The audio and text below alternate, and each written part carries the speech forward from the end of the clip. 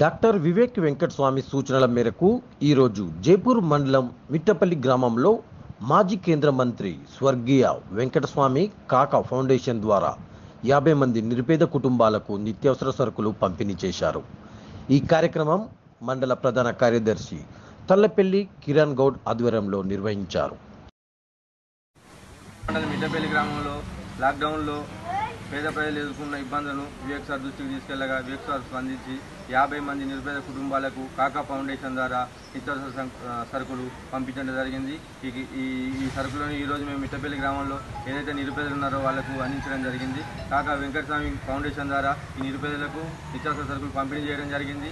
వివేక్ వెంకటస్వామి గారు ఏదైతే ఈ నిరుపేదలు లాక్డౌన్లో ఎదుర్కొన్న సమస్యలను దృష్టిలో పెట్టుకొని అధికారంలో లేకున్నా కూడా ప్రజల కోసం నిరంతరం కష్టపడుతూ నిరంతరం ప్రజా శ్రేయస్ కోసం పోరాడే వ్యక్తి. గెలిచిన అధికారులు ఇక్కడ కనీసానికి ఓట్లేసి గెలిపించిన ప్రజలను పట్టించుకోకుండా ఉన్న తరుణంలో ఈ లాక్డౌన్ సమయంలో వివేక్ వెంకటస్వామి గారు మానవత దృక్పథం కొద్దీ అందరికీ నిత్యావసర సరుకులు పంపిణీ చేయడం జరుగుతుంది. గత సంవత్సరం కాల గత సంవత్సరంలో కూడా లాక్డౌన్ సమయంలో దాదాపుగా సుమారుగా వెయ్యి కుటుంబాలకు మా చెన్నూరు నియోజకవర్గంలో నిత్యావసర సరుకులు పంపిణీ చేయడం జరిగింది. ఇప్పుడు కూడా గత వారం రోజుల నుంచి పేద ప్రజలకు నిత్యావసర జరుగుతుంది.